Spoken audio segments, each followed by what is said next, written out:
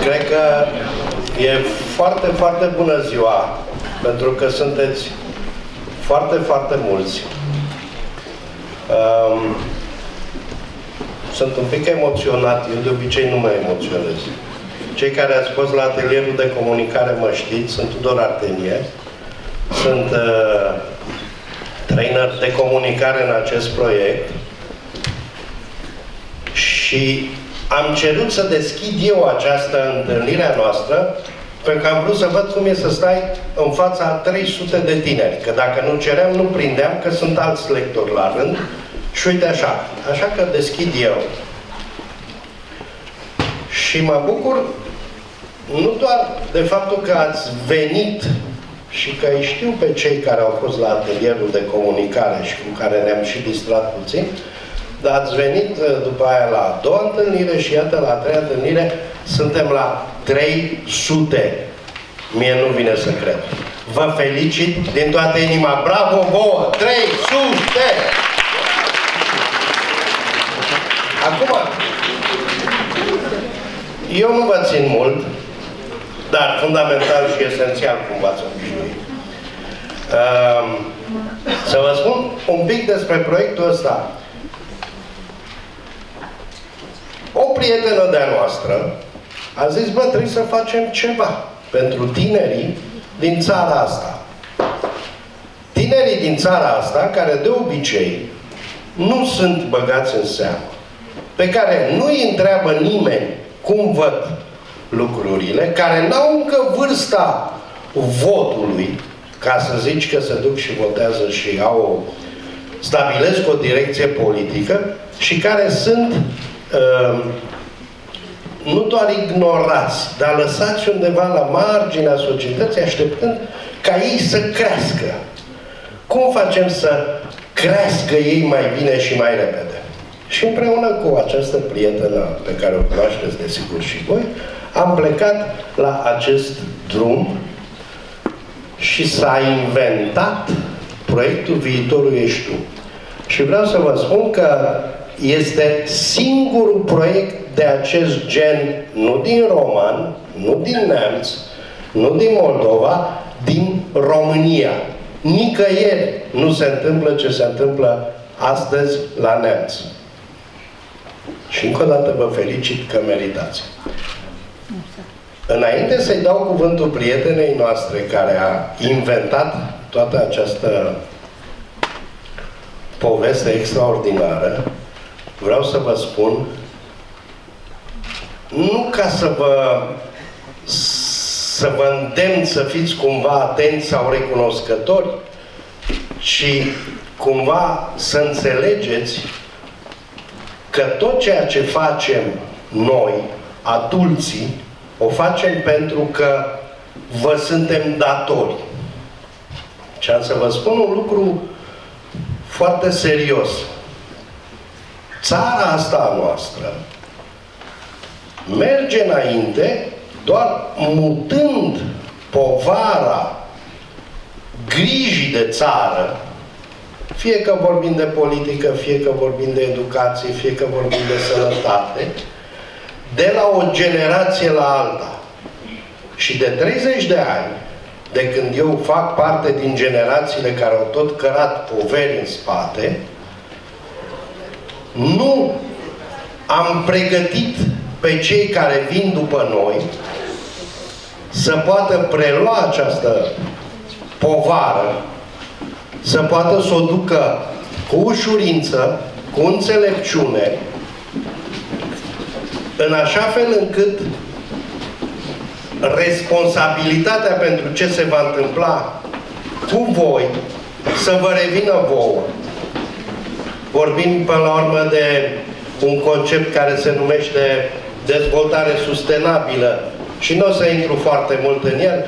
Ideea e că noi trebuie să facem multe lucruri pentru voi, pentru ca voi să puteți după aceea să vă conduceți familiile, comunitățile și țara fără să trebuiască să plătiți datoriile sau prostiile pe care le-a făcut generația mea. Și în momentul în care am plecat la drum în acest proiect în care să încercăm să vă livrăm cunoaștere, așa cum știm noi, așa cum am ajuns noi să înțelegem lucrurile, la asta ne-am gândit. Că trebuie să vă ajutăm să vă descoperiți talentele, să vă descoperiți forța, să vă descoperiți curajul și să puteți să guvernați tot ceea ce vreți voi. De la propria voastră viață sau plan de carieră sau familie până la uh, a conduce această țară. Eu și mă închei acum, vreau să vă spun că mă uit la voi cu foarte mult respect, vreți ceva de la viață, asta este extraordinar, primiți instrumentele, vă ajutăm și noi să, să vă găsiți instrumentele și mi-aș dori foarte mult ca peste 10, 15, 20 de ani din voi, din, așa, din, din grupa asta de 300 senzațională să se aleagă senatorii, deputații, academicienii, profesorii universitari, uh, scriitorii, mari actori ai, ai României. De asta facem acest lucru, de asta ne-am aliat acestui proiect și inițiatoarei acestui proiect, care îi voi preda microfonul acum și pe care mi-ar făcea mare plăcere să o aplaudați în timp ce se apropie de mine ca să culeg și eu un aplauze. Oana Bulai!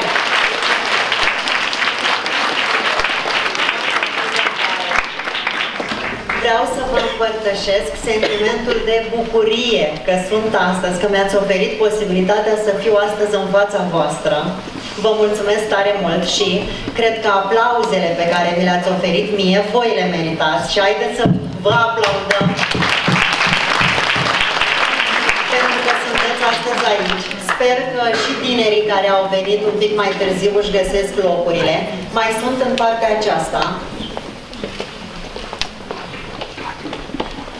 Vă mărturisesc că am avut în minte acest program de foarte mulți ani dar din uh, pricina proiectelor în care am fost mai mereu implicată, nu am avut posibilitatea să vă ofer aceste informații pe care mi le-aș fi dorit să le am când eram de vârsta voastră.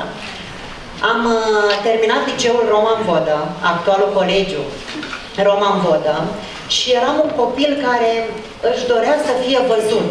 Îmi doream să fiu implicată în tot felul de proiecte, îmi doream să îmi fac prieteni, așa cum și voi știu că vă doriți, pentru că v-am citit toate chestionarele la cei care au participat de la prima ediție. Știți că v-am dat acele formulare și v-am întrebat ce așteptări aveți de la acest eveniment. Ce am mai învățat până la uh, vârsta pe care o am, că încrederea este extraordinar de importantă și atitudinea este foarte importantă, dar încrederea nu o putem avea decât prin mici succese.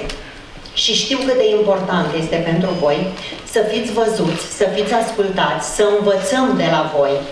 Pentru că voi, într-adevăr, reprezentați viitorul. De aceea am și ales acest titlu al, titlul al proiectului, Viitorul ești tu. Și tu înseamnă fiecare dintre voi. Uh, mă bucur mult că astăzi am reușit să am lângă mine niște oameni excepționali pe care am să-i invit la microfon, pentru că eu, uh, atât în prima ediție cât și în a doua ediție, v-am vorbit cât este de important să fiți pe drumul vostru și pe drumul vostru veți fi atât timp cât vă veți descoperi abilitățile, aptitudinile, ce vă face pe voi strălucitori, pentru că în spatele fiecăruia dintre voi se află un supererou și eu îmi doresc să-l scoateți la suprafață. Pentru că după ce veți termina liceul, vă veți duce la facultate și apoi vă veți alege uh, jobul, serviciul și uh, activitatea noastră profesională înseamnă aproape 50% din viața noastră. Și cât este de important să facem ceea ce ne place. Ce părere aveți? Vi se pare interesant ce vă spun? Da? Să știți că nu suntem aici la școală și mi-aș dori să, fiți, să fim interactivi. să vă punem întrebări, voi să răspundeți, pentru că acest eveniment a fost creat pentru voi. Și am să-l invit la microfon pe invitatul nostru special, pe Alin Ghizășan.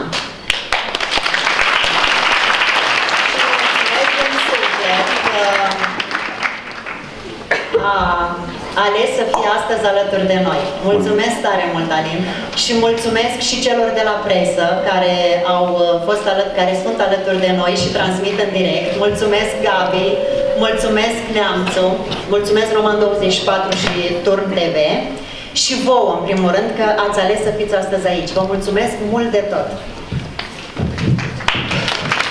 Mulțumim, Oana! Bună dimineața!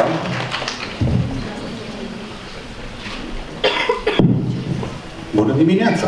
Bună dimineața! Bună dimineața! Hai, mai tare! Hai, n-ați mâncat de dimineața, nu v-ați trezit astăzi? Numele meu este Alin Izeșan. Mai greu de ținut minte, da? Țineți minte Alin, da? M-am tot gândit despre ce o să vă vorbesc eu astăzi. Și aș vrea să vă cunosc un pic înainte de a începe să vă arăt ceea ce v-am pregătit. Hai să vedem. Cine are sub 16 ani mânuța sus?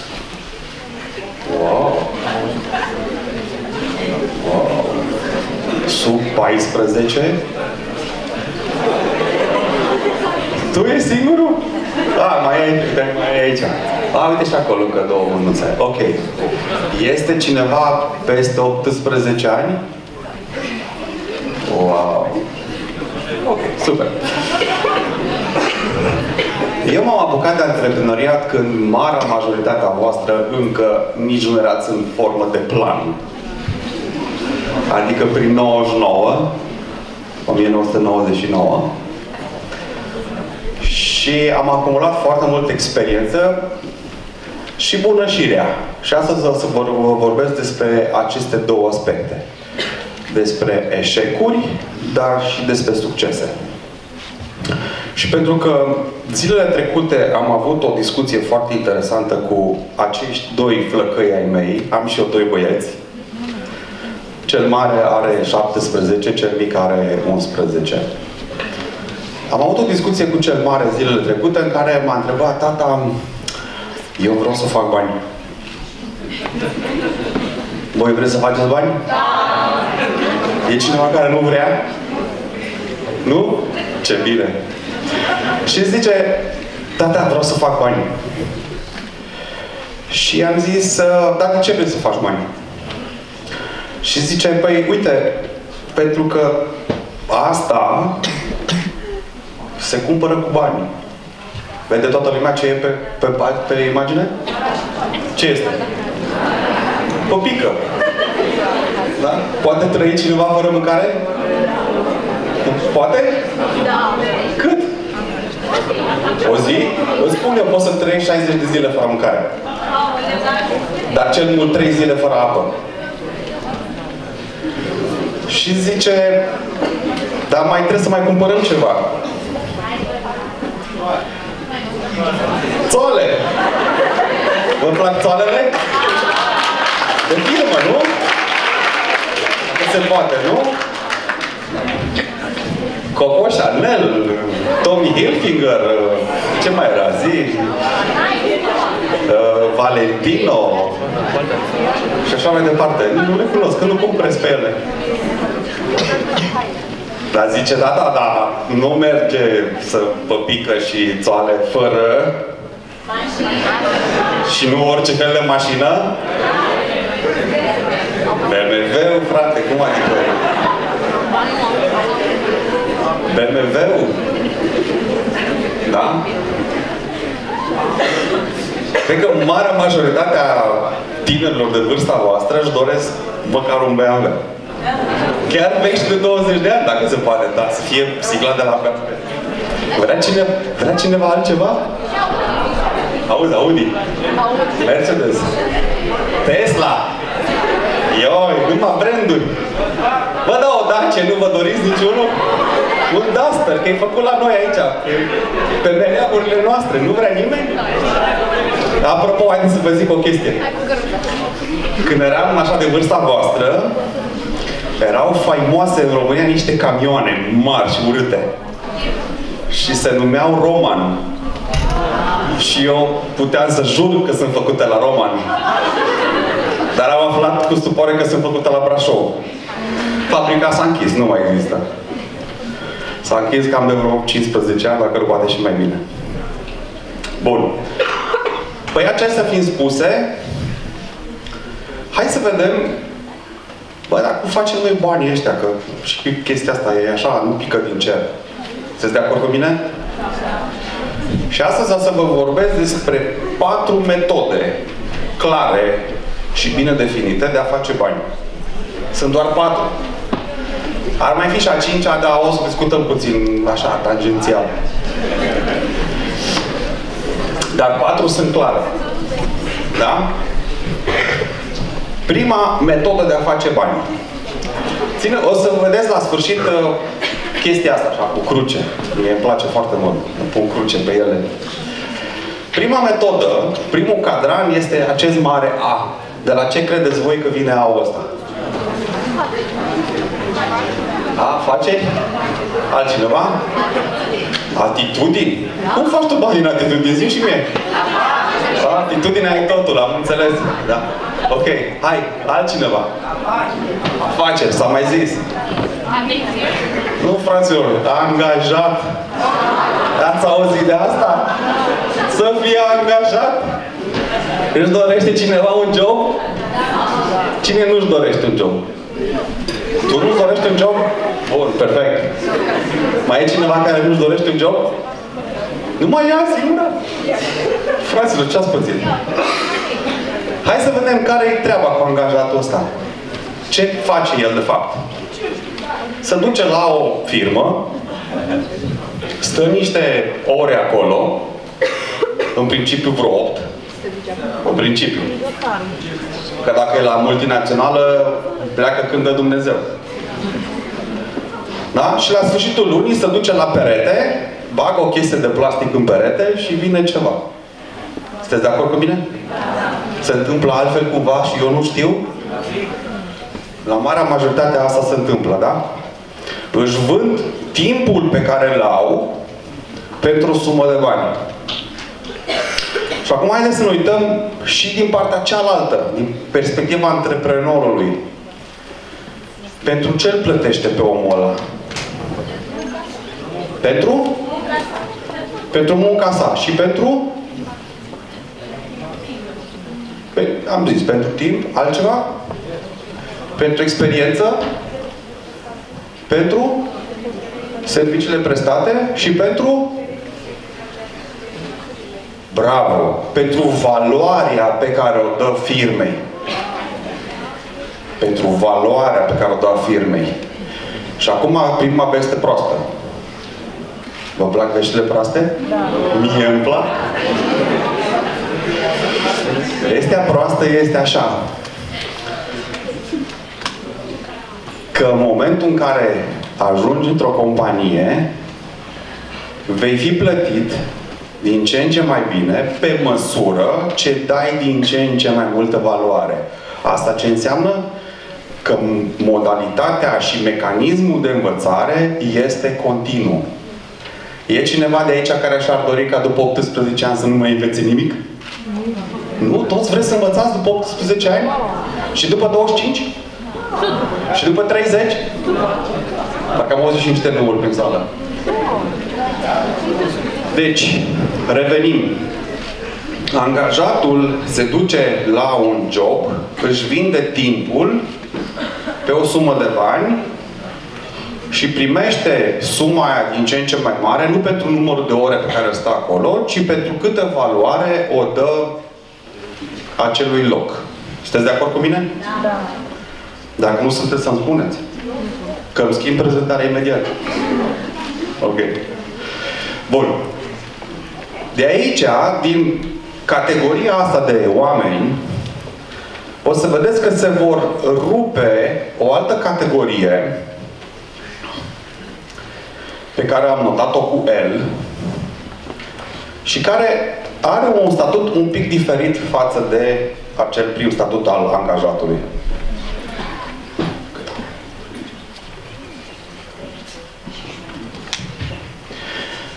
Adică, la ce mă refer? Sunt o, există o categorie de oameni care se specializează un pic mai mult, devin mai, mai buni în ceea ce fac și nu mai au neapărat nevoie să lucreze într-un context bine definit, adică într-o firmă, într-o companie. Da? Și elul ăsta vine de la liber profesionist. Ați auzit de din ăștia? Avocați, arhitecți, medici, mai ziceți voi, contabil, da? Trainer ca mine, speaker,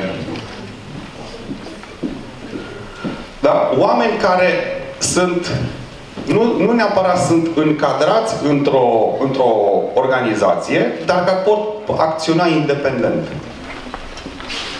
Ei, oamenii ăștia au și ei niște caracteristici. În primul și în primul rând, au mai mulți bani. Sunteți de acord cu mine? Câștigă mai bine decât aia primii. Dar mai e și un mare dezavantaj. Știți care? Intuiți? Nu au timp. Nu au timp.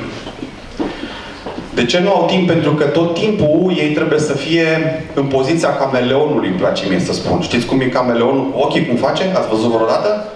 Își poate mișca ochii în forme diferite, fără, adică în axe diferite, da? Și de ce zic că poziția cameleonului? Pentru că cu un ochi trebuie să se uite după clienți, după noi clienți, da?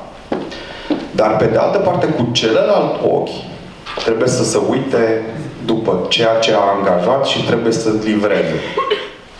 De acord cu mine? E, imaginați-vă ce se întâmplă cu aceste două categorii, A și L, dacă intervine în viața lor ceva de genul uh, uite că tot la mod acum gripa. Ha? Nu poate să se ducă la muncă vreo două săptămâni. Face bani în, bani în timpul ăsta? Nu. Cine îi plătește păpica? Statul, într-o mică măsură, cam mor de foame după ce îți dă statul. De acord? Ce se întâmplă dacă zice vreau să plec o lună de zile în Grecia să stau pe plajă? Mai face bani? Categoric nu. Deci la ce să vă uitați când luați în calcul aceste două categorii este că de cele mai multe ori la ele ar fi trebuit să pun aici în mare un nu, ori nu au timp, ori nu, ar, ori, ori nu au bani, ori nu le au pe ambele. Știu că sună șocant ceea ce vă spun eu acum.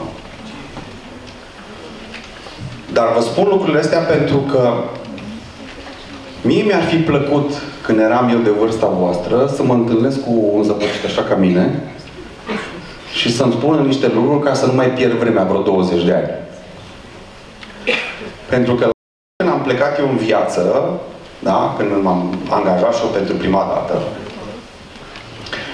Mie mi s-a spus că trebuie să fii un foarte bun angajat. Adică trebuie să te duci la școală, să iei note bune, să fii cât se poate de bun în ceea ce faci, îți vei găsi un job, vei munci 40 de ani acolo, vei face niște copii, vei ieși la pensie și după aia o să mori. Ați auzit de formula asta? Da. Ați mai văzut-o pe undeva? E, lucrurile se schimbă. Ceea ce se întâmplă astăzi nu mai este, sau este total diferit față de ceea ce era cu 10-15 ani. Haideți, haideți! Haideți, repede, haideți, haideți! Mergeți pe partea aia, că acolo sunt loc să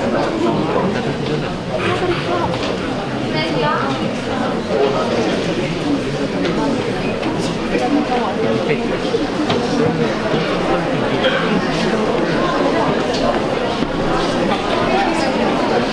you. Se pare că nu să mai avem locuri în sală, că așa Mai sunt locuri pe acolo pentru voi? Nu mai sunt. Haideți, haideți, haideți, haideți, intrați, nu stați. Hai că m-ați oprit pe plin în prezentare, hai. Vă place ce vă zic aici sau vorbesc de singur ca televizorul? Ha? Da? Pe acolo prin spate, ceva reacții. E ok? Sau e așa? E așa? Ha? Ok, super. Hai, intrați sau ce faceți? Bun.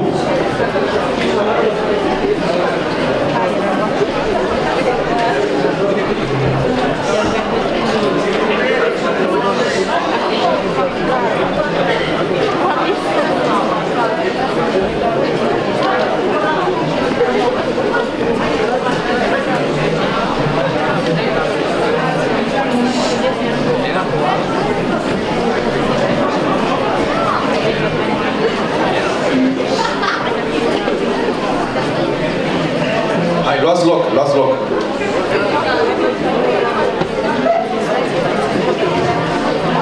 Oana, dragă, la următoarea conferință va trebui să iei un stadion.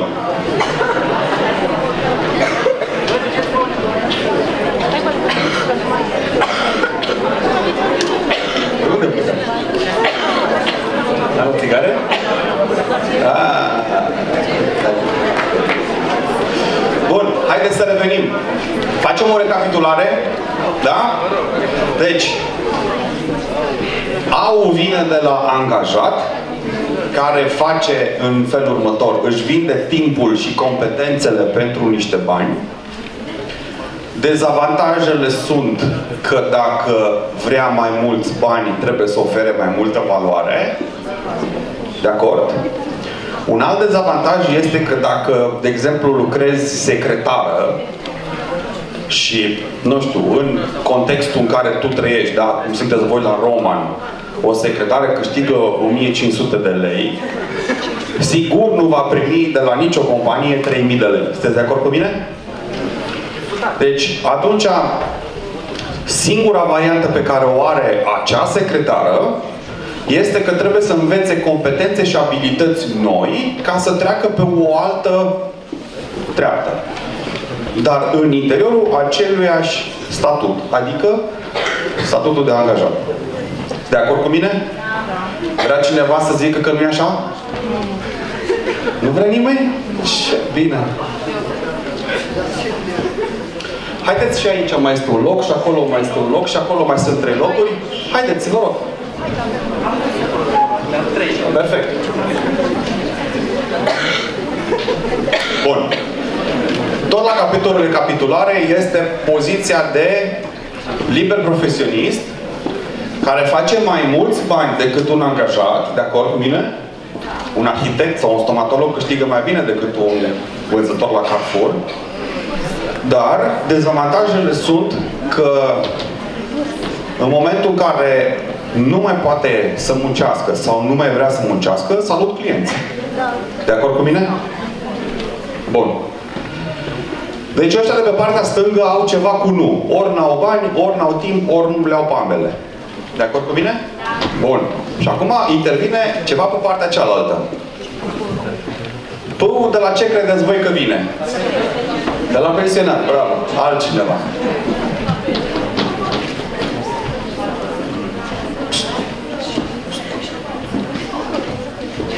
Hai, ziceți, păi, de la ce credeți? Dați-vă cu părerea. De la președinte de stat, da? Ok, perfect. Ziceți.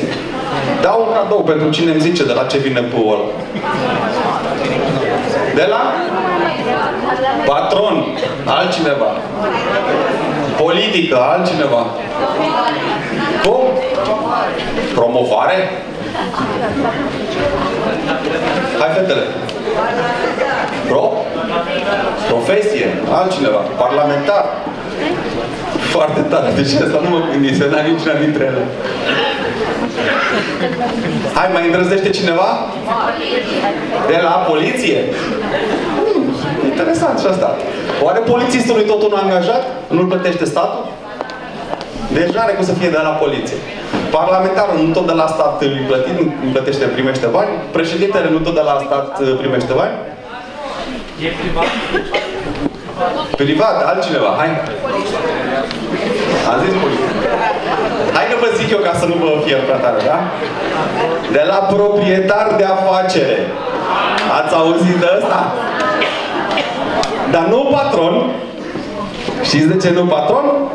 Pentru că patronul din România este un fel de el.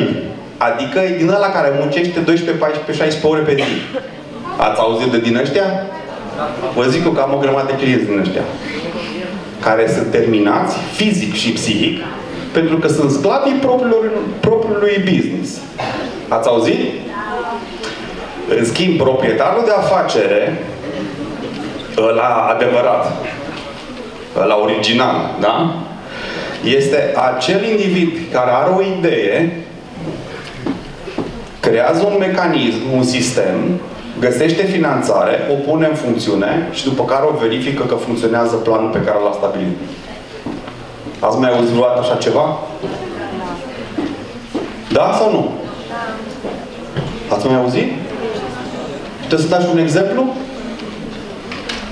Nu. Care sunt avantajele? Că sunt și avantaje și dezavantaje. Hai să vedem.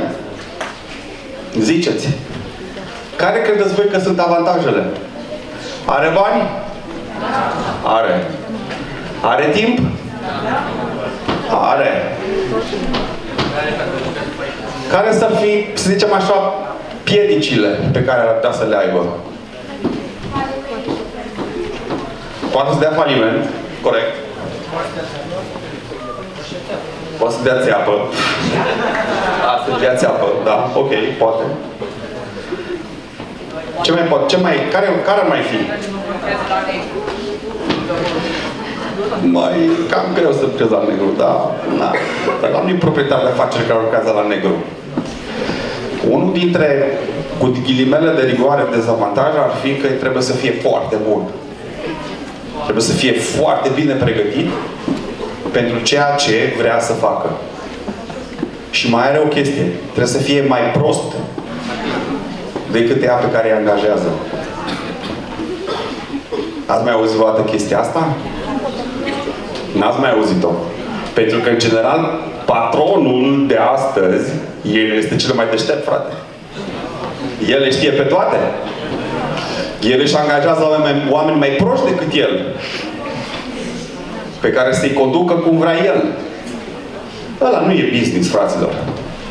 Și vă spun asta tot din eșecuri. Eu, de exemplu, astăzi caut să angajez un tânăr sau o tânără pe care sunt dispus să-l plătesc instantaneu dacă știe să-mi livreze rezultate pe Instagram sau pe grupul de Facebook. Hai, cine e bun la Instagram de aici? Nimeni? Nașpa. Bine, urma să-l întreb câți follower are și așa mai departe, ce face, ce rezultate are. De ce, de ce pun întrebarea, de ce v-am întrebat chestia asta? Pentru că eu nu pot să fac Instagram. De ce? Pentru că nu sunt atât de deștept încât să pot să fac și Instagram. Și atunci îmi dau seama că sunt prost și trebuie să dau voie altuia mai deștept și mai bine pregătit decât mine să facă Instagram. Cine? Tu? Ok, discutăm la pauză. Nu mă ajuți, te plătesc să faci chestia asta. Dacă ești bun. Dacă nu, nu.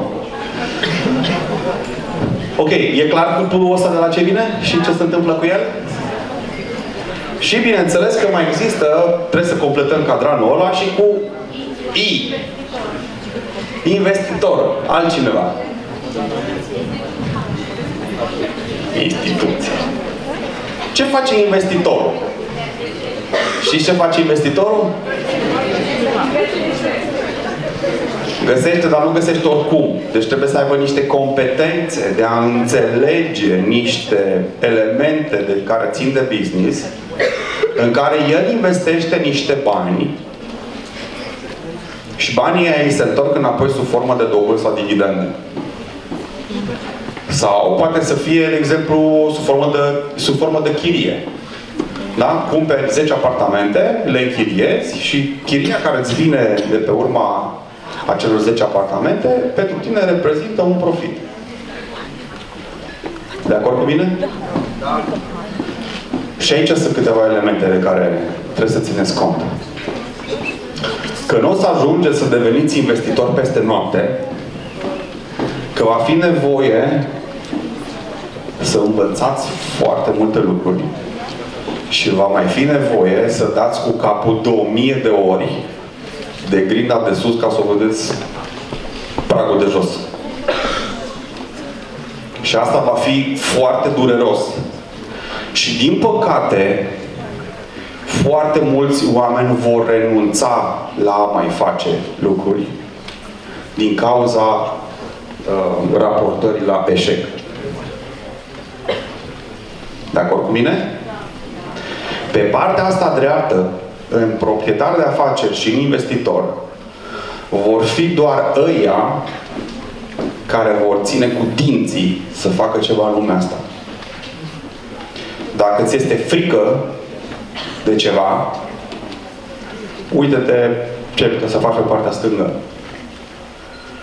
Dacă nu ai frică, atunci ceea ce este pe partea dreaptă este pentru tine. Dar țineți minte, pe partea stângă e ceva cu nu, nu are bani, nu are timp, sau nu le are babele. Pe partea dreaptă are și bani, are și timp, are tot ce, tot ce trebuie. Vă ziceam la început că ar mai fi și o a cincea variantă. Să treci pe banii lui mama și lui tata. Ați auzit de asta? Ioi! Sau uh, unchiul mătușa din Italia, din Spania, din America, de unde o fi, care să trimită niște bănuți. Da? Sau un alt model care, pe care eu l-am văzut foarte prezent la începutul anilor 90, când voi nu erați încă pe planeta asta, este modelul la din mici învârteli. Ați mai văzut modelul ăsta? Schimbă ceva, dă-mi aia că îți dau asta. Hai că, pac, am, ai schimbat 50 de euro, mai ne combinăm. La combinații. Ați auzit de combinații? Da? Aici sunt mai mulți combinatori ca au reacționat mai tare. Și acolo în spate niște combinatori. Partea asta la chestiile astea cu combinațiile este că nu ține. Nu e predictibil. Și ce înseamnă predictibil? Adică nu, se, nu poți să pui într-o formă, nu te poți aștepta, nu știi la ce să te aștepți. Și nu vă recomand asta. Ar mai fi și să trăiesc din pensie. Dar în România e mică. Mică. Nu e atât de mică. Da? Bun. Hai să vă zic câteva fapte, că mie îmi plac faptele. Statistica pe care o vă arăt este dură, rece, dar vă afectează pe toți. În sală sunteți vă 300 și un pic. Poate mai mult de 350, da? Pot să zic așa, că 90% dintre voi în următorii 10-15 ani veți fi în statutul de angajat. Și veți câștiga mai puțin de 1000 de euro pe lună. Poate că vi se pare mult astăzi 1000 de euro. Nu e mult deloc. Sună urât?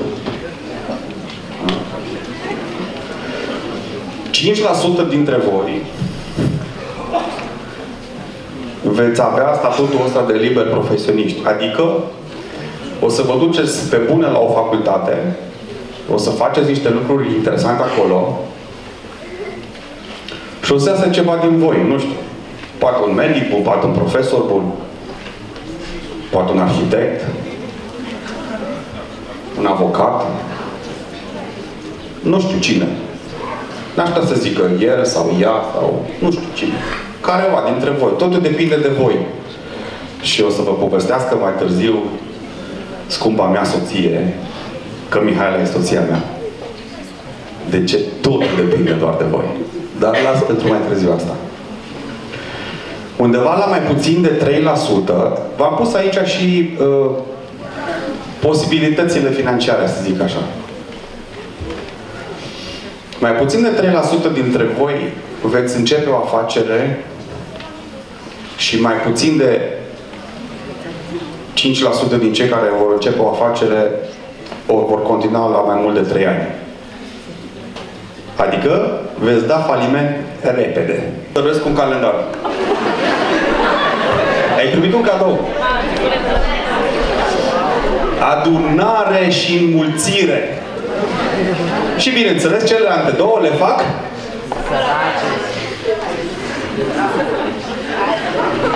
și aduceți-vă aminte de pozele la trei pe care vi le-am arătat mai devreme.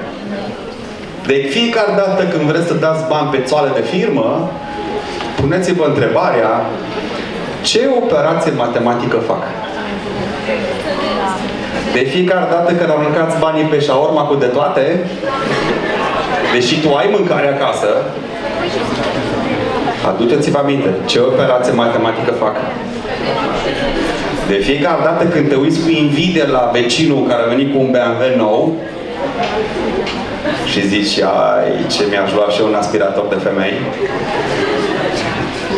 aduți aminte ce fel de operație matematică faci. Ok? Sunteți aici cu mine? Da? Ok. V-a plăcut ce v-am arătat? O să mă țineți minte? Categoric. Sunt convins de asta. Sunt foarte convins de asta. Pentru că mai am câteva minute din prezentare, aș vrea să-mi adresați întrebări. Pentru fiecare întrebare deșteaptă, mai dau cât un cadou.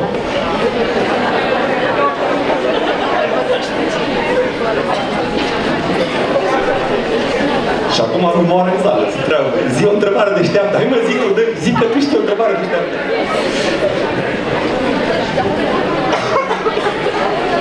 Stați așa că aveam o întrebare.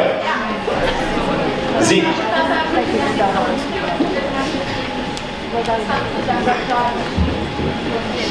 Vă pot să repet și o întrebare. Da? Zi-o tu. Zi-o tu sau de toată lumea. Uh, Ca să ajungi investitor, trebuie să treci și prin treapta de angajat sau liber profesionist, nu-i așa?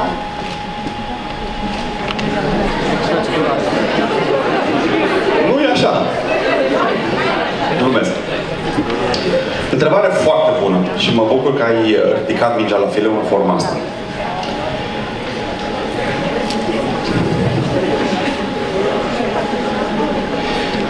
De ce vă ziceam că de pe stânga pe dreapta e o trecere? Vreau- Ce vreau să înțelegeți e în felul următor. Nu vreau să înțelegeți că a fi angajat e un lucru rău. Absolut deloc nu vreau să înțelegeți asta. Dar vreau să înțelegeți că puteți să treceți prin statutul ăsta de angajat pentru o perioadă de timp în care puteți acumula informații, experiență, eșecuri. Ați auzit de asta, de eșecuri? Ca să știți, ca să știți foarte bine ce aveți de făcut unde. Pe partea cealaltă a cadranului. Sunteți de acord cu mine? Dar asta trebuie să fie prins cumva într-un plan asumat de la bun început. Adică dacă tu știi că vrei să te faci programator, dau un exemplu. Închide-te rog microfonul, că face microfonie. Închide-te. Dacă tu știi că vrei să te faci programator, pentru că e la modă și că se câștigă bine, dar vrei să rămâi toată viața ta ca angajat, la un moment dat vei ajunge un prag, vei atinge un prag de peste care nu vei mai putea să sari. Sunteți de acord cu mine? Dar dacă tu, de exemplu, te faci programator și spui că vrei pentru o perioadă de, să zicem, 5 ani de zile să experimentezi diferite tipuri și diferite proiecte ca să capeți know-how în așa fel încât la un anumit moment să-ți pornești propriul tău business, e o idee bună. Voi sunteți de acord cu mine? Oamenii ăștia de ce din față? Ziceți, ziceți nouă, că e distracție mare la voi aici. Nu ne ziceți? Bine. Foarte bună întrebare. Mulțumesc pentru întrebare. Așa cum promisesem, dau și ție un, cal- un, cal- un calendar. Plăcere. Hai, altcineva. Eu ăla, eu ăla. Nu mai are nimeni nicio întrebare? Ia să auzim. Tare stau de toată sala. Eu sunt Alin. Și Andrei. Tot Alin? Andrei. A, Andrei, scuză.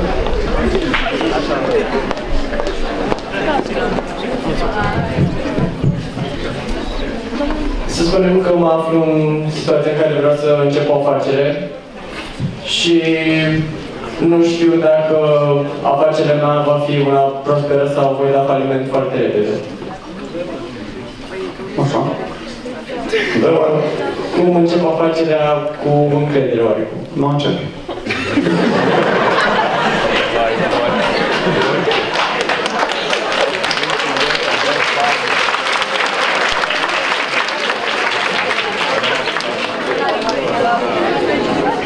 Nu sunteți de acord? Adică sunt și oameni, mulți au fost de acord cu mine. E cineva care nu e de acord cu mine? În afară de Andrei, că el vrea să pornească business-ul ăla. Deci, Andrei, treaba e în felul următor.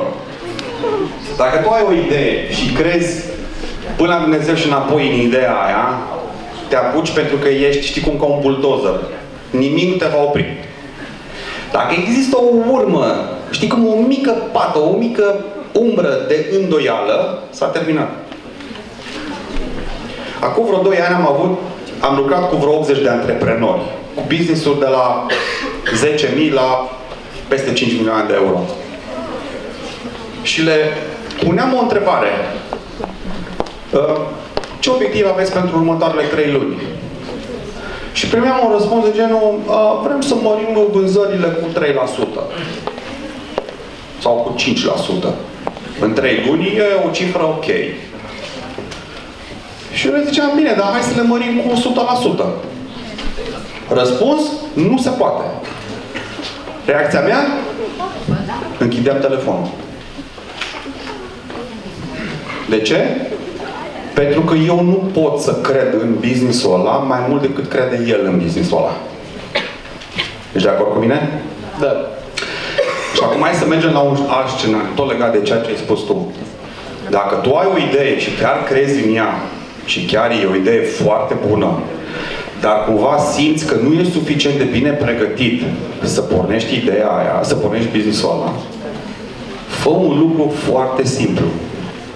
Angajează oameni mai deștepți decât tine care să facă lucrurile alea.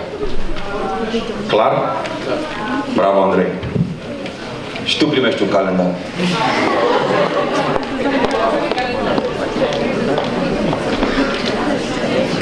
Hai, încă o întrebare deșteaptă. Uite aici, o domnișoară. Te ascult. Vreau să vă întreb, dacă avem superioare, de ce totuși oamenii din ziua de astăzi nu au locuri de muncă?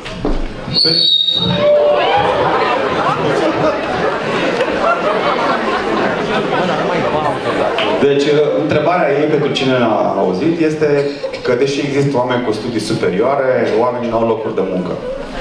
Și răspunsul meu e un răspuns com- compus, în felul următor. A avea studii superioare nu neapărat îți garantează cineva că ar trebui să ai un loc de muncă. De acord cu mine? De acord, dar părinții noștri după liceu, pe facultate, ceva viață. De ce nu? Asta este o veche paradigmă. Tocmai am încercat să vă explic, ca să înțelegeți că dacă părinții voștri au făcut niște lucruri, nu este obligatoriu ca și voi să le faceți în exact aceeași formă. Este în alegerea voastră dacă mergeți pe calea aia sau nu. Și acum să vă mai zic un lucru foarte important. Se numește mobilitatea forței de muncă. Românul, în general, este suficient de static.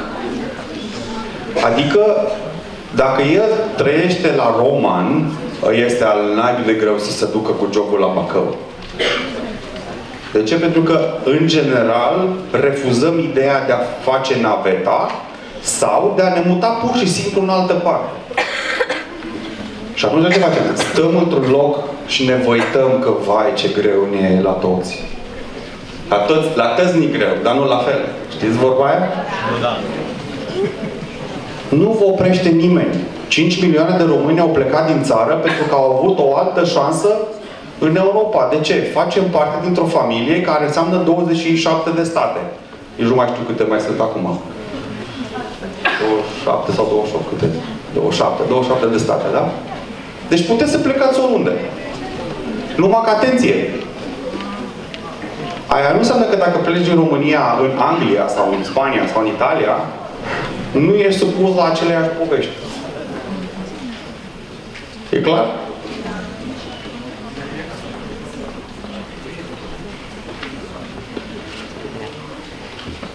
Cadou e pentru tine.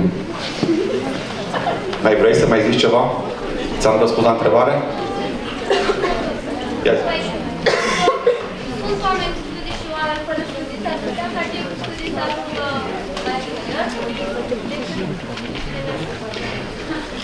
O persoană... Cum... bă, rep- Dacă cineva face facultate și are studii superioare și cineva doar în clase, poate Da, am înțeles.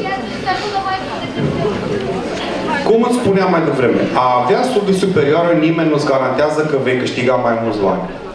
Eu știu oameni care nu au deloc studii superioare și câștigă de 5 sau de 10 ori mai mulți bani decât cineva care are studii superioare. În, în același timp am văzut și persoane care au studii superioare și care lucrează caseriță la benzinărie. Tot așa.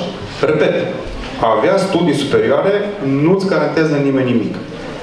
Dar dacă te duci undeva și oferi valoare în acea companie, în acel loc, cu excepția statului, atenție, da? Am putea să fac această preci- precizare. La stat nu interesează pe nimeni dacă dai valoare. Dar la firmele private, da. E clar? Păi, tu la ce faci aici? Musculezi. Ok, hai, ultima întrebare. Tare. Cum să începe o firmă în România unde valorile morale și sociale sunt distorsionate? Ce treabă au firma cu valorile morale? Pentru că trebuie să promovezi ceva ce atrage lumea. Ce anume?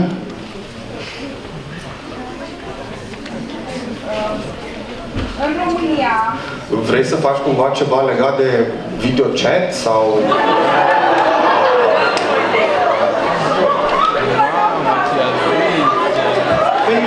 eu așa am înțeles, că uh, moralmente, știți, uh, societatea se opune. Stați așa că mai zice ceva, stați așa. Zi. de exemplu, promovează la TVP-ul pizza și altceva la direct. de calitate, Draga mea, tu te uiți de vulpiță, eu habar n-am ce e vulpița. E vedeta României. În lumea mea, în bula mea, sunt alte informații. Vedeta României. Eu nu mă uit la vulpița, nu știu cine e vulpița, habar n-am. Dar pot să-ți spun că și cine se uită la vulpița, tot se spală pe dinți. Da. De acord cu mine? Și ăla care se uită la, sau aia care se uită la voi- vulpița și ia pantofi. De acord cu mine? Sau își cumpără rujuri. Sau își cumpără, nu știu ce, farduri sau creme. Ești de acord cu mine? Ești de acord sau nu ești de acord? Cum? Depinde? Băi, eu cred că se spală pe... Cred, bănuiesc că se spală pe dinți. ok, bine, dragilor. Vă mulțumesc pentru atenție. Sper să vă țineți minte. Um, V-a plăcut ce v-am zis? Da? Vreți să mai vin la roman să vă mai zic? Da. O să mă mai chem. Vă mulțumesc!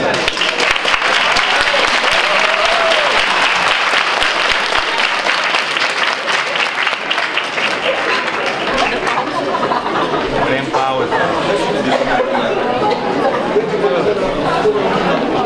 Pauză. Ok, uh, acestea fiind spuse legate de prezentarea mea, o să o invit pe iubita mea soție. A, o invit pe Oana. Uh, deci Oana nu e soția mea. Cealaltă e soția mea.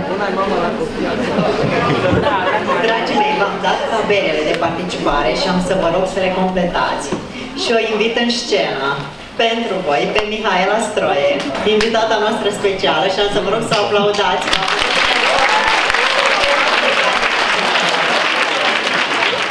Mulțumesc! Oana. Mulțumesc, Oana, și bine v-am găsit. Este o mare bucurie pentru mine să fiu astăzi alături de voi la Roman. Și scopul meu al venirii mele la Roman este pentru că vreau să vă împărtășesc din experiența mea personală și profesională. Și sper eu să vă luați din um, tot ceea ce vă prezint um, ceea ce este util pentru voi. La fel cum a prezentat și Alin mai devreme, îmi voi lăsa și eu la final uh, o bucățică de timp ca să puteți adresa întrebări. Ok? Bun. Astăzi, um, venind, de fapt, ieri venind către, către Roman, m-am uh, conectat cu persoana mea uh, atunci când eram la 16 ani. Și vreau să vă spun ce mi-am adus aminte, pentru că uh, acum, în acest moment al vieții mele, am 42 de ani și a, a trecut ceva vreme de atunci. Și vă voi spune următorul scenariu de viață, care este adevărat. Uh, eu am, uh, m-am născut și am locuit într-un oraș foarte mic în, în sudul României, în Slobozia, județul Ialonița. Și fiind eu în acel moment clasa 10 la Liceul Pedagogic Matei Basarab, am uh, avut îndrăzneala la 16 ani să particip la Olimpiada Națională de Psihologie, care se organiza în acel moment în orașul meu. Și am trăit următoarea experiență. Am fost foarte motivată să particip la această olimpiadă, pentru că cel care ocupa locul întâi primea o excursie de o lună în America. Nu vă puteți imagina motivația mea, cât, cât de mult am învățat și cât de, așa, și cât de bună am fost eu la această olimpiadă, doar că am descoperit brusc, la 16 ani, că viața nu e dreaptă. Și cel care a luat locul întâi a luat nota 960. Vă spun aceste detalii pentru că pentru mine contează foarte mult. Iar eu am luat nota, care credeți? 950. Diferența între locul 1 și locul 2 a fost de 10 sutim. Nu mai țin minte care a fost nota de la mine când am ajuns la 2, să filmul, vă dați seama. Deci, concluzia este că nu am plecat unde? Nu am plecat în America, pentru că acel premiu era pentru cine? Pentru locul întâi. Și în acel moment, la vârsta de 16 ani, am luat o decizie personală foarte puternică, care mă conduce și în ziua de astăzi și mă va conduce până la finalul vieții mele și anume aceea de a fi ce? Numărul 1. Oriunde mă voi duce, orice meserie aș avea, oricâte provocări voi avea, oricâte obstacole voi întâlni în viața mea, eu voi fi întotdeauna ce anume? Numărul 1. Și aceasta este motivația mea pentru care am uh, devenit antreprenor la 25 de ani, dăm timpul înainte. Și am să vă spun de ce. La 25 de ani. Până la 25 de ani mi-am dat voie, așa cum a prezentat soțul meu mai devreme, să fiu în ce cadran credeți din cele patru? În cadranul de angajat. Am avut trei joburi în viața mea până la 25 de ani când am luat uh, decizia de a deveni antreprenor. Vi le și spun că nu este o rușine.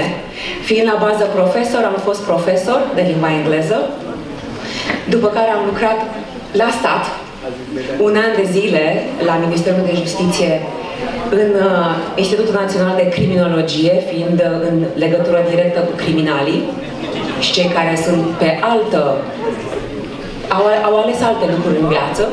Un an de zile am rezistat în sistemul de stat și în această interacțiune toxică. După care am lucrat trei luni de zile la o revistă de resurse umane, unde eram redactor și mergeam să intervievez uh, oamenii de succes care conduceau companii. Și într-o zi, vorbind cu foarte mulți oameni care erau CEO, general manager, proprietar de business, am observat un lucru. Cineva a spus mai devreme, atitudinea este totul. Toți acei oameni aveau un punct în comun. Acel punct comun era atitudinea. Și atunci am stat și m-am gândit, oare de cine depinde atitudinea mea față de mine? Doar de mine. Dacă acei oameni poate să facă lucrul acela, ce înseamnă? Cine și cineva a reușit să facă lucrul acela, ce înseamnă pentru mine asta? Că și eu pot. Yes! Și atunci am făcut un lucru pe care vreau să vi-l dau astăzi fiecăruia dintre voi, să aveți curajul să urcați treaptă cu treaptă, pas cu pas, până ajungeți acolo sus, unde putem să ridicăm mâinile așa în sus și să spunem am reușit. Pentru că acest, acest urcat pe trepte, de cine depinde? Doar de noi. Și am început afacerea mea la 25 de ani, fără să am bani de la părinți. Adică, acum poate vine cineva să spună, acum, ok, ești un om de succes, mm, ai avut uh, privilegii. Nu este adevărat. Nu am avut deloc privilegii. Am început afacerea în 2002. Nu exista în 2002 nimic din ce se întâmplă în acest moment în România, nicio facilitate, niciun sprijin. Și banii pe care am avut, cei 300 de dolari pe care, de care am avut nevoie ca să înființez firma în 2002, i-am împrumutat de la o verișoară. Pentru că familia mea, cu tot dragul spun asta, că sunt păr părinții mei sunt chiar oameni deosebiți, tot timpul m-au învățat ce? Învață, mergi la școală, ia-ți un job sigur, Că de aceea m-au trimis la pedagogic să am job de profesor, că dacă sunt profesor, este o meserie sigură în România. Da? Și au spus, termină cu prostiile. În familia noastră nu a fost nimeni vreodată antreprenor. Și am spus, și ce treabă are cu mine chestia asta? Dacă eu vreau să explorez această, această oportunitate, care este problema voastră? Și atunci de aceea nu mi-au dat ei bani, că au vrut să mă descurajeze. Înțelegerea cu verișoara mea a fost în felul următor. În cât timp îți returnezi banii? Pentru că așa se întâmplă când faci un împrumut. Și uh, ea mi-a spus, uite, am nevoie de ei în trei luni. Am deschis firma, cât era la vremea respectivă, nu minte, mi-am cumpărat două costume mi-am făcut un set de cărți de vizită și am început să particip la evenimente de networking. O lună. Ce înseamnă networking? Pe vremea aceea erau puține evenimente de networking față de acum. Sunt acele întâlniri în care ne adunăm mai mulți oameni cu, cu interese și comune și diferite și uh, discutăm între noi, ne, ne spunem ce servicii oferim. Uh, eu la acel moment, în 2002, firma mea oferea sondaje de opinie publică. Eu fiind sociolog. Și a trecut o lună, niciun client.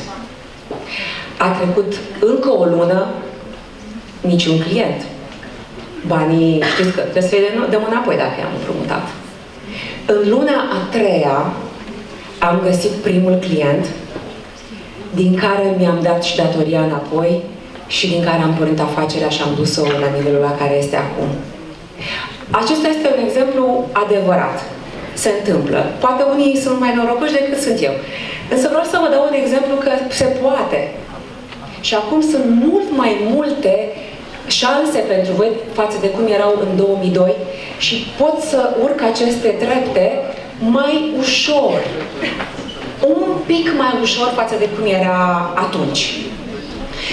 Și să ajung imediat la ce v-am pregătit pentru astăzi, pentru că nu vreau să vă spun uh, numai poveștile acestea personale, vreau să vă, vă și dau ceva care să vă rămână pe viață de la mine. Pentru că de peste 20 de ani uh, eu lucrez în România cu foarte mulți oameni de succes. Împreună cu Alin, din 2006, pregătim mii de români am pregătit uh, pentru a lucra în instituțiile Uniunii Europene și am, am multe de împărtășit pentru, pentru voi astăzi. Însă am ales un subiect care are legătură cu fiecare dintre voi. Hai să vedem dacă ghicește cineva. Dacă a fost cineva atent la promovare, la ce a prezentat Oana înainte de eveniment. Oare la ce m-am oprit eu astăzi să vă prezint? Nu are, are legătură și un pic cu viitorul, dar mă refer la altceva. Hai să vedem, cine ghicește?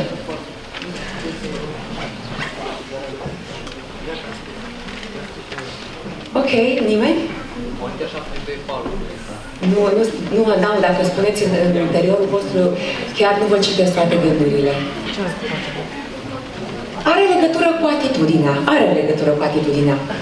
Vreau să vă vorbesc despre identitate personală. Cine sunt și ce vreau să fac cu viața mea. Pentru că identitatea personală suntem noi, fiecare dintre, dintre voi. Uh, are cineva lucruri de scris? Da? Ok. Cine are lucruri de scris, cine, cine are telefoane, uh, special am pus acest slide ca să vă faceți uh, o ancoră vizuală sau mentală. Vă invit să scrieți pe foile de hârtie cei care aveți sau pe telefon în notițe aceste două întrebări pe care eu vreau să vi le dăruiesc și să le purtați uh, cu voi până închideți ochii. Prima întrebare este cine sunt? Și a doua întrebare este ce vreau să fac cu viața mea? Și vă dau o, o sugestie prietenească aici. Uh, dimineața când mergeți la baie să vă spălați pe dinți, vă invit să puneți pe oglinda în care vă uitați când vă spălați pe dinți un post-it cu aceste două întrebări. Cine sunt și ce vreau să fac cu viața mea? Sunt cele mai grele întrebări posibile vreodată. Oamenii toți îmi spun, dar tu de ce vii și ne pui întrebări atât de grele? Pun aceste întrebări pentru că răspunsul la aceste întrebări se află doar în interiorul vostru. Nu o să vină cineva vreodată din exterior și să vă dea răspunsul la întrebarea cine sunt. Sau să dea răspunsul la întrebarea ce vreau să fac cu viața mea. Pentru că este a mea. Este responsabilitatea mea, viața mea. și acum, vreau să vă prezint care sunt aceste criterii, eu așa le și numesc, ale pașaportului identității personale. Știți cum arată un pașaport, bănuiesc? Da? Poate unii dintre voi chiar și aveți pașaportul. Îl prezentăm atunci când ne ducem în afara țării sau unde mergem noi. La fel suntem și noi cu persoana noastră când ieșim din casă. Ne prezentăm pe noi înșine. Și iată care sunt aceste elemente. Am pus pe locul întâi un, uh, un concept care abia acum începe în România să se dezvolte și să înceapă să oamenii să-l priceapă. Și anume vorbesc despre valorile personale. Câți dintre voi vă cunoașteți valorile personale? Sau ați auzit măcar vreodată de acest cuvânt valoare personală? Ia să vedem. Ai auzit tu. Super. Alte persoane? N-ați auzit? N-ați auzit. De astăzi înainte nu puteți să mai spuneți că nu ați auzit de valoare personală, de această idee. Vă aduceți aminte ce vă spunea Alin mai devreme legat de a câștiga mai mulți bani? Ce spunea? Să să, să aduci o valoare mai mare și atunci primești mai mulți bani. Ei, la baza acestei valori pe care tu o aduci, stau valorile tale personale. Și o să vă dau un exemplu. Decizia pentru care, a, motivul pentru care am devenit antreprenor este că una dintre valorile mele personale este libertatea.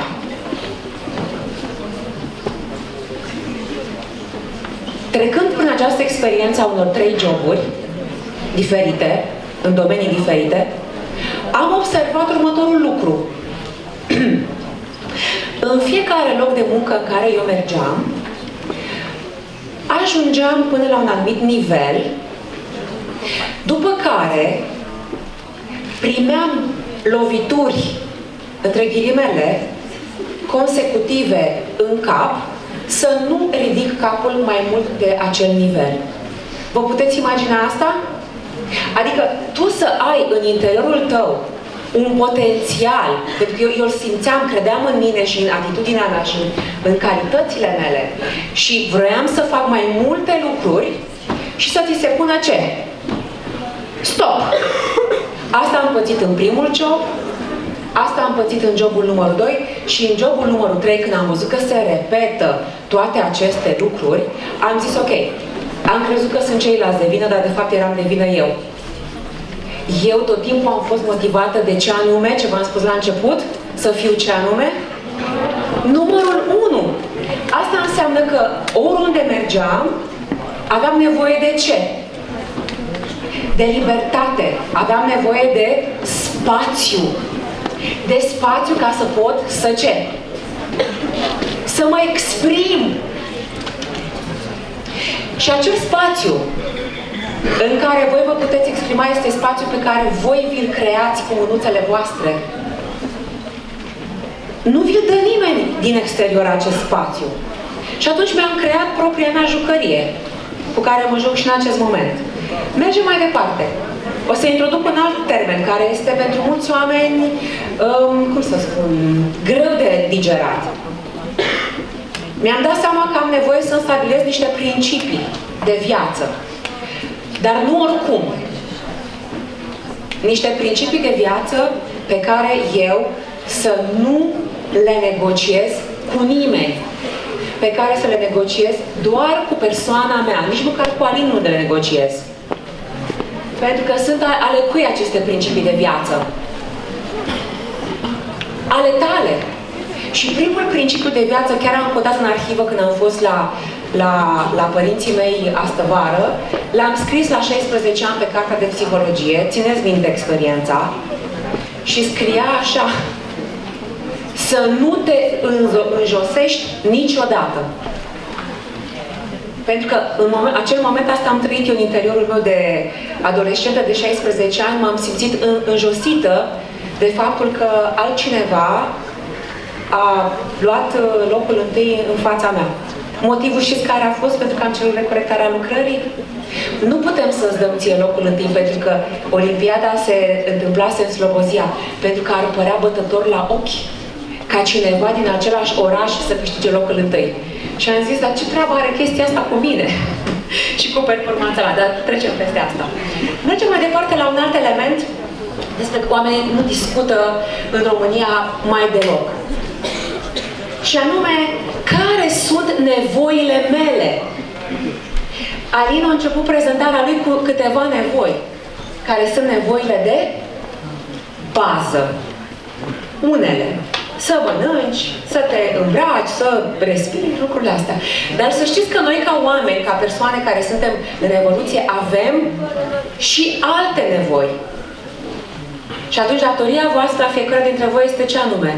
Să vă dați seama care sunt ce? nevoile voastre. Alt element important pentru identitate.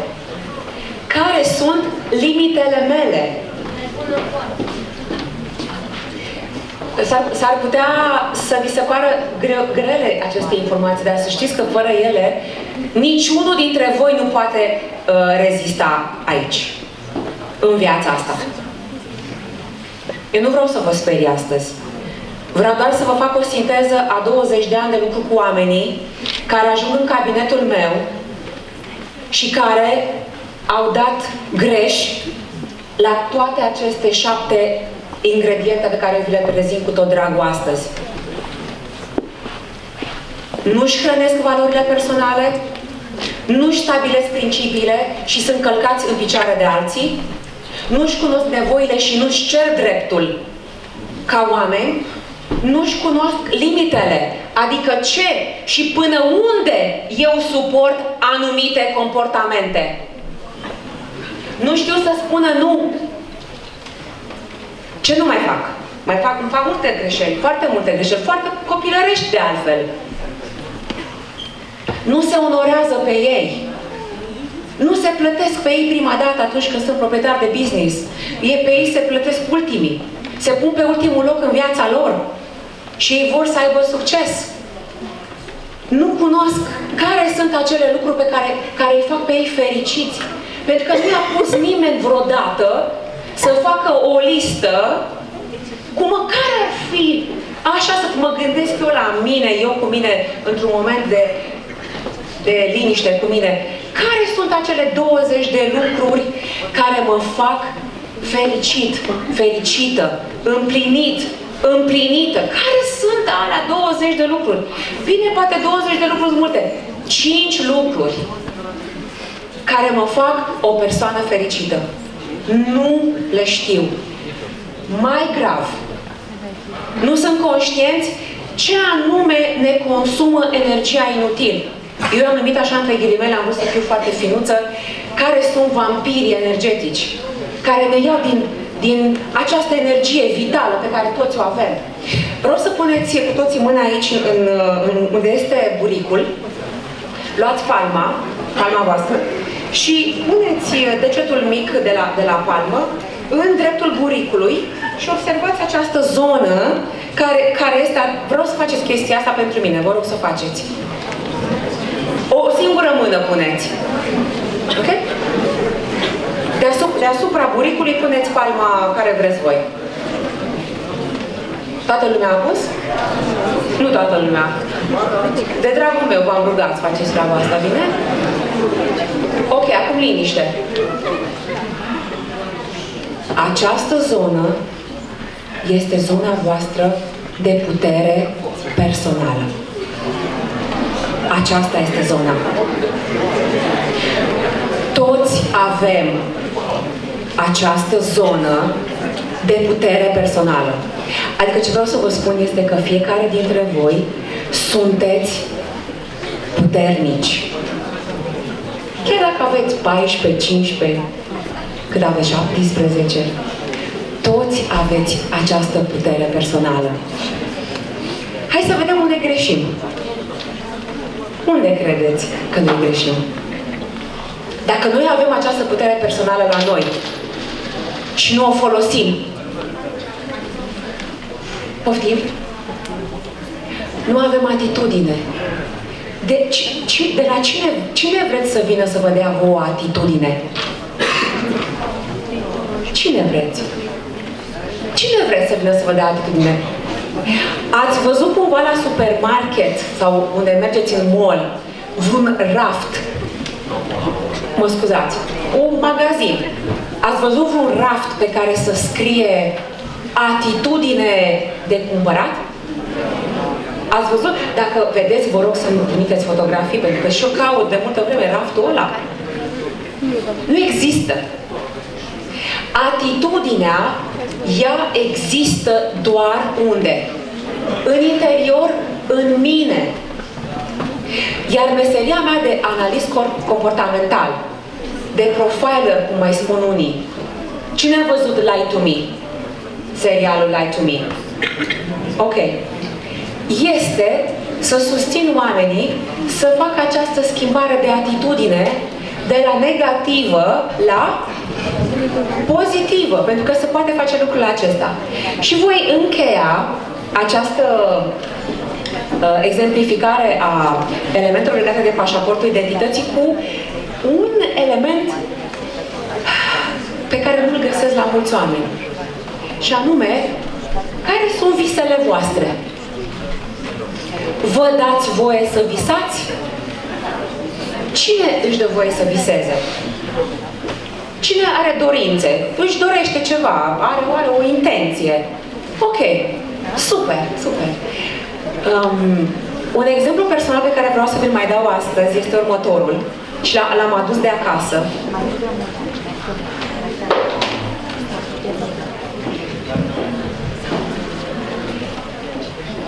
Acesta este jurnalul visurilor mele. Vedeți că scrie numele meu pe el? Da. Da? Ok. Am primit acest jurnal cadou de la soțul meu într-un moment al vieții mele când eu uitasem să visez. Nici măcar nu mi-am dat seama că eu uitasem să visez. El mi-a reamintit și mi-a zis, zice, vezi, zice că ți-ai pierdut motivația internă. Nu mai visezi. Dar eu ți-am cumpărat un jurnal ca să te apuci să visezi din nou. Uite, să mă dau și așa ca să vedeți și voi jurnalul. Um, e foarte personal. Doar vreau să vă arăt acest exemplu. Nu trebuie să fie așa cum mi l-a cumpărat el de pe un site. Puteți să vă faceți un caiet simplu. Dar vreau să vă arăt uh, un exemplu că ceea ce tu îți pui în minte ca dorință, ca vis, se transformă în realitate. Și o să vă arăt în direct, acum pentru prima dată în viața mea fac chestia asta. Oana m-a ajuns un pic să găsesc visul în care... Ține microfonul. Ia, hai să vedem care din vise e, nu mai știu că Am bine arată caietul Mihaele. Are și fotografii. Are și fotografii și are și... Nu vreau să Eu sunt organizată. Uh, în anul, da, n-am scris anul, ba da, uite, te rog să spui ce aici. 2015. În anul 2015 am, sc- am, am lipit pe caietul meu de vise ce scrie aici, că scrie în engleză. Un centru de învățare. Știți că eu sunt profesor la bază și fiecare profesor, el asta visează, să aibă și el un centru unde să predea. Piticul meu este, și era acest, uh, acest centru. Și 2015, după 5 ani de zile, anul trecut, a- după 4 ani de zile aproape, anul trecut, soțul meu, care este un geniu tehnic, a venit cu o idee care să mă ajută pe mine să-mi îndeplinesc acest vis. El știe care este visul meu. Am fost profesor uh, universitar, am predat în două facultăți până în acest moment, am predat și în afara țării, dar eu mi-am dorit să predau online. Că ăsta e trendul acum. Să pot să ajung și să impactez cât mai mulți oameni. Și am ajuns să-mi creez acest, această platformă educațională online. Și o să vă spun unde este și o să vă dau două resurse. Platforma este pe blogul meu mihailastroie.ro Nu este absolut nimeni obligat să intre în această platformă.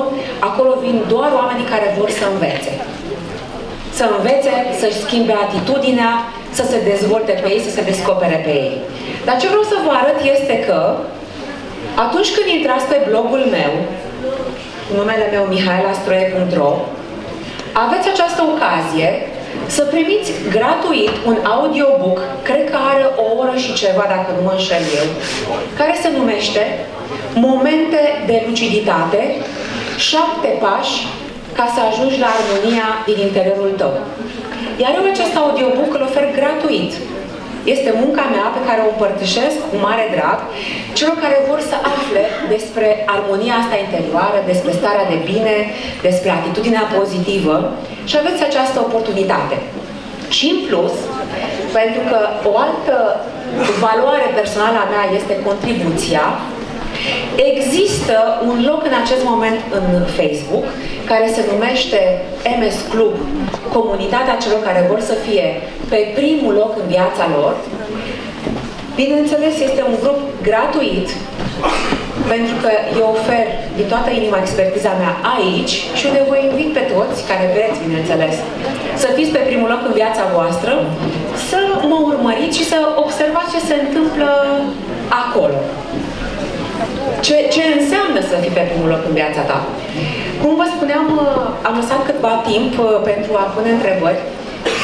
Eu am multe să vă spun, dar vreau să îmi spuneți și voi părerea voastră și dacă aveți vreo curiozitate legată de ceea ce v-am prezentat eu până acum.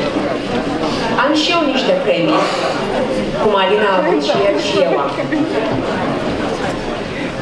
Haideți să vedem. Cei care voți, veți rămâne, bineînțeles. Uh, Promit că încheiem la, la fix.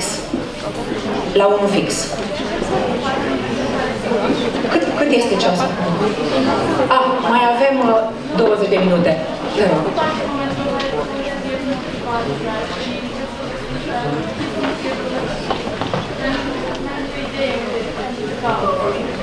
Da, o să repet întrebarea. Ce faci atunci când îți pierzi motivația internă? Și este o întrebare foarte, foarte bună. Prima, prima întrebare pe care să vă puneți în mintea voastră este ce m-a determinat să îmi pierd motivația internă? Ce anume? Pentru că întotdeauna va fi un, un factor exterior, poate, sau interior, care îți va mânca motivația. Și dacă nu identifici cauza pierderii motivației, și ce se va întâmpla cu prezentare mai devreme? Veți păți același eveniment încă o dată, încă o dată și încă o dată. Și te rog să-mi dai un exemplu, în cazul tău personal.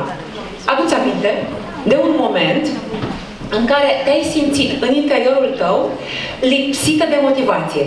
Și crede-mă, nu este nicio rușine. 98% din populația lumii trece prin astfel de momente.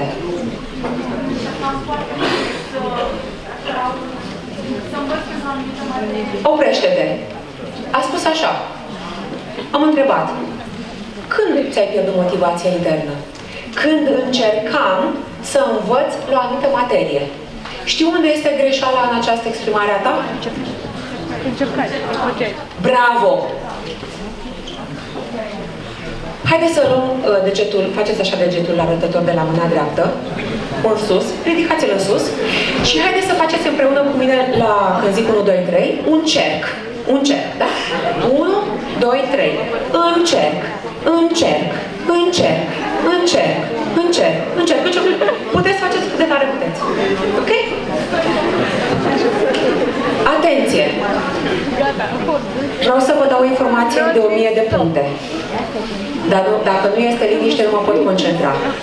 Și este o vânzulală foarte mare în spate care îmi distrage atenția. Vorbesc foarte serios.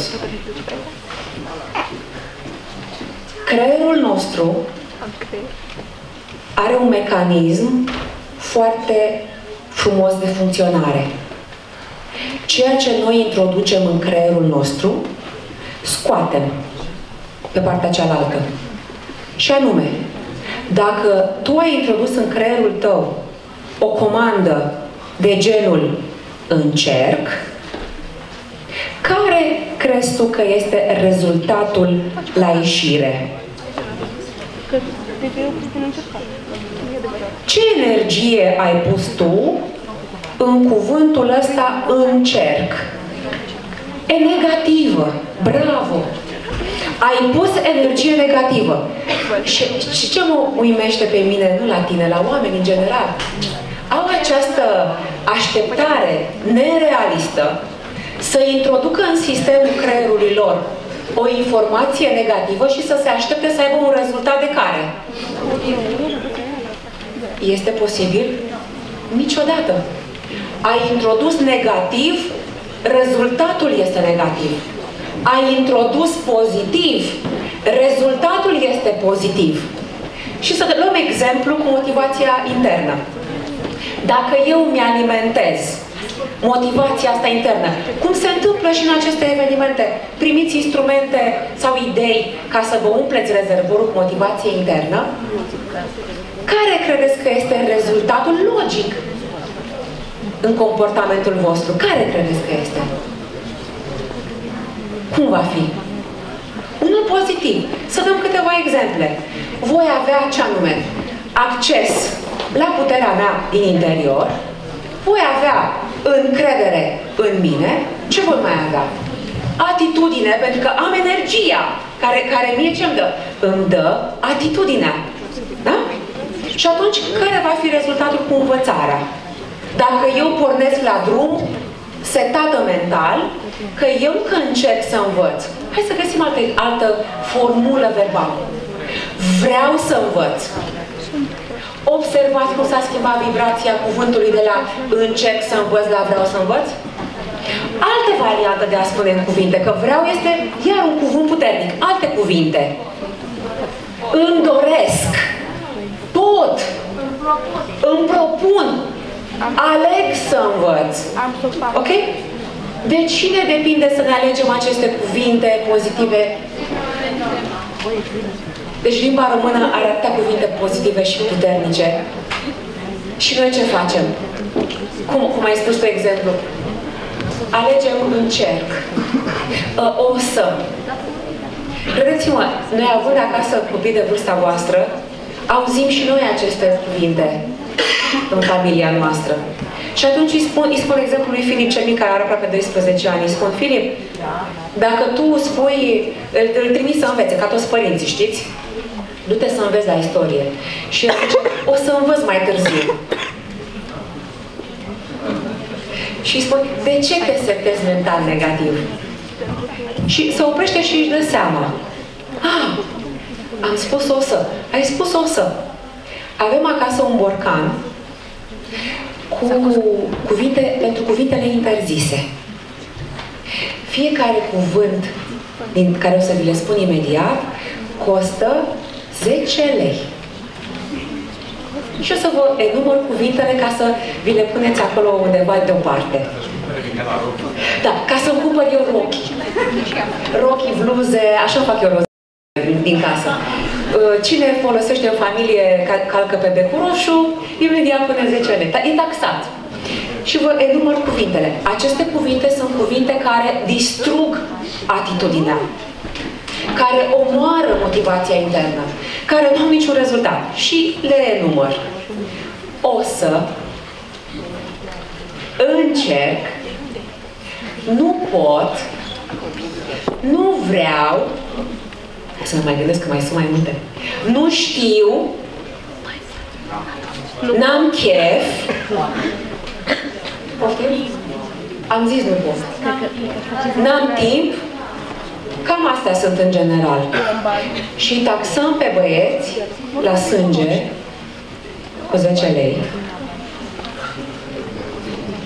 Pentru că și eu când merg la sală, pentru că practic crossfit-ul, și în, nu ajung la o sesiune de crossfit, antrenorul meu mă taxează cu 50 de lei.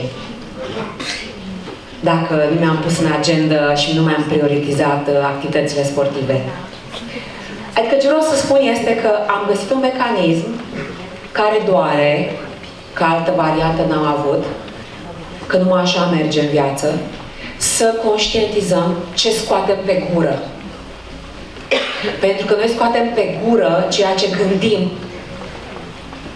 Și aceste gânduri ale noastre, aceste cuvinte pe care noi le folosim, ne creează nouă realitatea. Altă întrebare. Hai să vedem. Ăla eu, ăla eu? Te rog. Poți să vii aici în față lângă mine, te rog? Nu. Haide. Spuneam că e nevoie să ne afirmăm. Iată. Hai. Bazate pe pile și relații. Adică chiar și unele joburi și gen notele de la școală. Am înțeles. Te doare chestia asta? Doare. Pentru că mi se pare că toți suntem egali și nu ar trebui să se facă diferență. Și, nu știu, într-un fel, mă deranjează lucrul ăsta. de foarte multe ori am auzit lucrul ăsta și nu e Poți să, poți să ne explici, pentru că este o, o situație foarte adevărată și tristă. De ce consideri tu că toți suntem noi egali? Pentru că toți suntem oameni și toți avem valori și toți... Toți ar trebui să ne cunoaștem propriile valori. Adică niciunul nu este mai presus decât altul. Chiar dacă unul Te, te, are... te întrerup doar o secundă. Ea a spus cum te cheamă pe tine? Vandana a spus un lucru foarte adevărat. Toți avem valorile noastre și ai, ai spus, e nevoie să ni le cunoaștem. Cei care nu și le cunosc, cine este responsabil de faptul că ei nu, nu le cunosc? El însuși. El însuși. Tu, Vandana, crezi în inima ta că tu sau eu putem să dăm cuiva în exteriorul nostru motivația noastră pe care o avem noi în interiorul nostru să ne cunoaștem valorile? Tu, tu poți să dai cuiva, uite, din sala asta, motivația ta internă? Poți să-i dai un sfat, să-l motivezi, dar este o vorbă. Unui om îi poți lua cu forța, dar nu îi poți da. Și cred că... Uite, îți ofer uh, prima mea carte în armonie cu mine pentru a te inspira și a putea să inspiri la rândul tău pe alții. Ok? Mulțumesc, Ioana. Nu putem să dăm motivația noastră altor persoane. Eu și Alin, oricât de motivați suntem pentru că amândoi suntem antreprenori, nu putem să dăm motivația noastră de a fi antreprenor copiilor noștri. Pentru că este o ce? O alegere personală. Dacă ei nu vor sau dacă voi nu vreți să vă cunoașteți pe voi înșivă, să vă cunoașteți valorile, principiile, nu este nimeni vinovat în afară de voi. Nu este nimeni vinovat. Și uh, să-i răspund la întrebarea ei cu pile, relații, cum era pe cereu?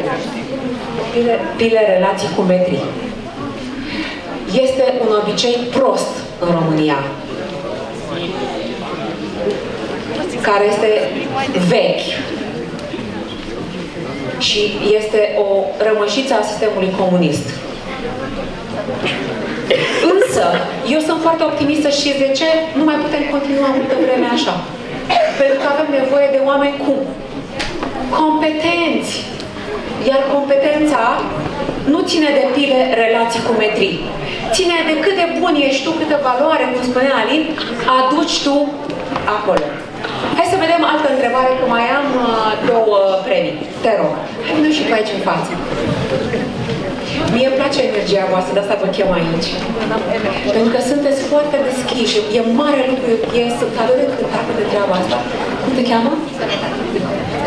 Cum poate un om care a renunțat la vise să mai viseze, să mai, să mai viseze? Îți mulțumesc pentru întrebare, da? Uite, o să dau și ție un cadou.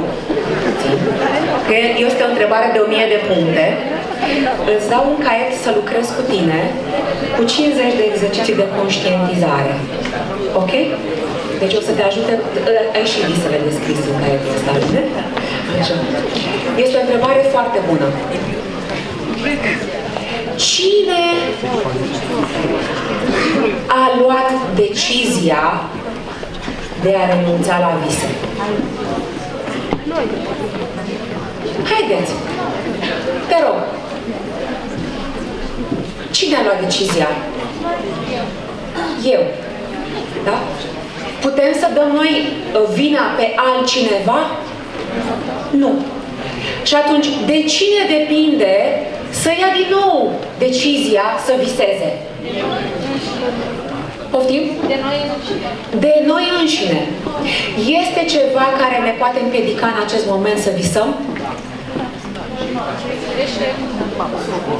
Eșec. Eșecurile. E foarte bine că spui asta. Poți să spui pe numele tău? Bianca. Bianca. Vine aici, Bianca, să dau și ție un cadou. Pentru că ai pus o întrebare și, și ai pus un răspuns foarte bun. Ție îți dau a doua mea carte, fii pe primul loc în viața ta. Ok? Să-ți ajute să fii pe primul loc în viața ta. Eșecurile sunt cele mai bune evenimente care ni se pot întâmpla în viață, pentru că sunt oportunități de învățare. Eu, eu nu am ajuns întâmplător antreprenor, ci pentru că am avut eșecuri în cele trei joburi anterioare, în care credeam că este ceva în neregulă cu mine. Țineți minte că v-am povestit. Dacă eu nu treceam prin acele eșecuri, eu nu ajungeam astăzi în fața voastră așa cum o vedeți. Dumnezeu știe pe unde lucram sau cine știe ce făceam. Și atunci, vă încurajez să vă deschideți inima atunci când aveți un eșec, să vedeți ce lecție am eu de învățat de acolo. Și o să vă dau un, un exemplu de exercițiu pe care să-l faceți acasă, fiecare dintre voi, în fiecare moment al vieții voastre. Și vă rog să vă imaginați exercițiul. Ok? Vă imaginați o foaie de hârtie? Da? Ok. O punem așa pe orizontală și trasăm o linie. Cât de, lung, cât de lungă este foaia? Pornesc din stânga, unde am vârsta 0, momentul în care m-am născut. Și încep pe acea linie să punctez momentele din viață în care eu consider că am avut un succes, ceva bun în viața mea. Mi s-a întâmplat o realizare, ceva. Și în momentul în care v-ați oprit din evoluție sau v-ați oprit din dezvoltare sau v-ați oprit din cunoașterea de sine, veți observa fiecare dintre voi o linie. Se numește în psihologie platou. Acela este momentul în care stai cu tine și te întrebi am renunțat la vise, am renunțat la valorile mele, am renunțat la principiile mele de viață, am renunțat la nevoile mele, pentru că nu o să vă ajute nimeni să mergeți înainte, în sus, să, să progresați. Nu, doar noi ne ajutăm să, ne, să ieșim din groapa aia în care ne-am pus singuri. Acum, poate vi se pare ciudat exercițiul. Pentru mine, când mi-am dat seama că sunt în platou, atunci mi-am dat seama că am nevoie să imediat, să ies din zona de confort, pentru că acolo înseamnă că stau într-un confort, într-un coșciug cu pereți de catifea roșu așa și ies în necunoscut ca să-mi depășesc acea, acel obstacol. Și asta înseamnă că trăiesc și accept eșecul. Când m-am ridicat, m-am scuturat și zic, nu, acum nu pot să-mi frec mâinile, să mă apuc de treabă. Ăla este momentul în care voi alegeți să fiți în puterea voastră personală. Cât timp stați în zona de confort, veți avea rezultatul negativ. Este logic. N-ai cum să ai succes, n-ai cum să ai progres. Și dar tot de noi depinde. Iar mă întorc la noi. Te rog. Vreau să vă întreb, de ce unele visuri sunt îndeplinite care au eșuare? Întrebarea ei este de ce unele lucruri sunt îndeplinite și eșuate. Nu, nu-mi dau seama de ce, de ce ai pus și îndeplinite, îndeplinite și eșuate în mintea mea nu fac... Uh... Dăm un exemplu. Cineva lucrează să ajungă doctor. Așa. Doctor profesează meserie ceva. Da, ce ajunge doctor, progresează meserie, da? Iar după aceea, dacă pune stop, dar nu o vrea așa, s-a întâmplat. De exemplu, Pune stop la un moment dat, așa s-a întâmplat. cunosc oameni, mi-au stat întrebarea lui părinții, Așa. oameni mai destul de doctor, după aceea ajungeau la